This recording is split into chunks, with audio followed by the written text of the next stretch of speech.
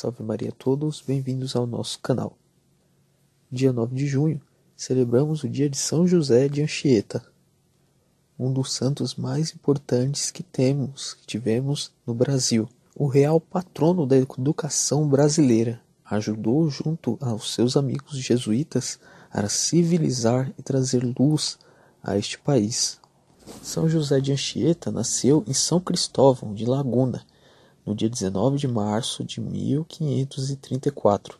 Sua família era descendente de nobres. Sua cidade natal fica na ilha de Tenerife, que faz parte né, do arquipélago das Canárias, pertence à Espanha. Seus pais, percebendo sua grande inteligência, aos 14 anos, toda essa aptidão para os estudos, seus pais lhe enviaram para a Universidade de Coimbra, em Portugal, para que ali continuasse os seus estudos.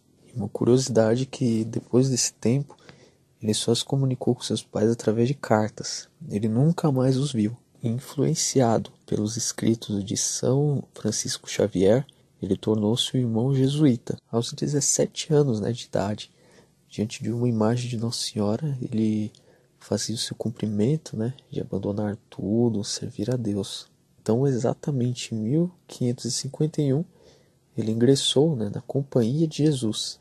Ele fez os seus votos de castidade, pobreza e obediência, mesmo com saúde frágil, em 1553.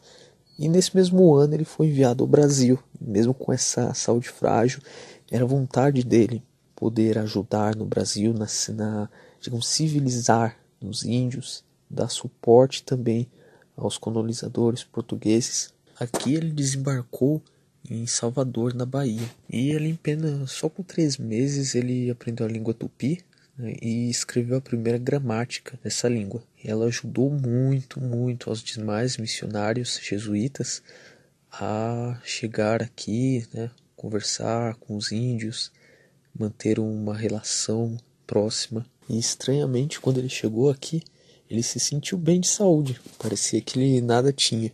Catequizou muito os índios, deu suporte a muitos portugueses de frotas que estavam aqui. E curioso que ele foi considerado apóstolo do Brasil e beatificado em 22 de junho de 1980, muito tempo depois.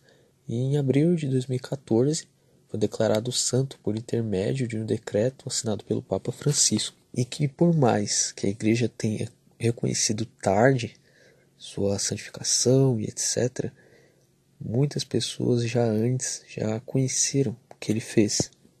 Um marco histórico né, para o nosso estado de São Paulo, para o nosso país também. Ele foi um dos fundadores na nossa cidade de São Paulo. Ele participou, ele participou da fundação do Colégio de São Paulo, Colégio Clássico. Também foi um árduo defensor dos índios, né, perante a alguns atritos que se tinha aqui no Brasil escravização também. Ele fez algumas obras também como Poema Virgem, a arte gramática da língua mais usada na costa do Brasil, os feitos de Mendiçá, cartas da companhia e também a cartilha dos nativos, esta qual ajudou muito os jesuítas aqui no Brasil, ajudou demais.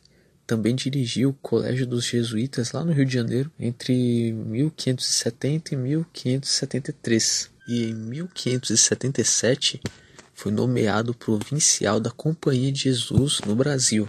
E também um adendo, né, ele escreveu também peças de teatro. Ele foi o representante do teatro jesuítico no Brasil. Ele ajudou e, digamos que, deu uma semente de uma árvore gigante que foi a cultura no Brasil.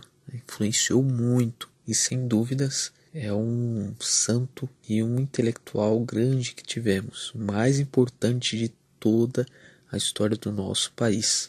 Um verdadeiro servo de Deus que ajudou muito em nosso país, na cultura, na civilização e trazendo luz aos gentios. E em 9 de julho de 1594, ele falece na cidade de Heritiba, atual Chieta, na capitania do Espírito Santo, com 63 anos de idade é, dado a, a frágil saúde dele, se via que ele ia falecer muito bem antes disso. Né? Ele surpreendeu até mesmo quem achava que ele ia falecer tão cedo, com certeza Deus o concedeu mais anos de vida para poder ajudar né, esse nosso país, ajudar no principal que foi a evangelização, a conversão de muitos índios, até mesmo de muitos portugueses, para a real fé. Dou uma dica a todos visitarem a igreja de São José de Anchieta, que fica no pátio do colégio, né, bem perto do Marco Zero de São Paulo, que é perto da Praça da Sé. Lá contém as relíquias dele, pessoas que entendem sobre a vida dele, se quiser trocar um papo, tudo mais, tiver algum padre disponível. E ela é muito bonita mesmo, por dentro ela é muito linda. E está aos cuidados da Arquidiocese de São Paulo, o nosso Dom Odilo Scherer. Espero que seja proveitoso a você este vídeo. Deixe seu like, compartilhe, se inscreva no nosso canal. Salve Maria, São José de Anchieta, ora pro nobis.